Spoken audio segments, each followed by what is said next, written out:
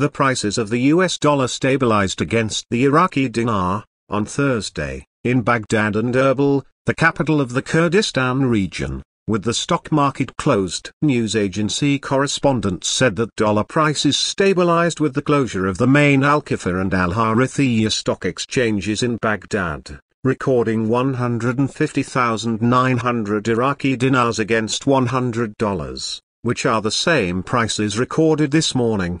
Our correspondent indicated that selling prices in exchange shops in local markets in Baghdad stabilized, as the selling price reached 152,000 dinars for $100, while the purchase price reached 150,000 dinars for $100.